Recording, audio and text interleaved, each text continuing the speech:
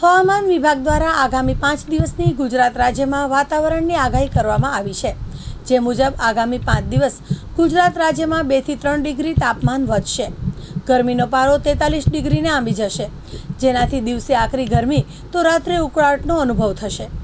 આજે અને આવતીકાલે કચ્છમાં હીટવેવની આગાહી છે.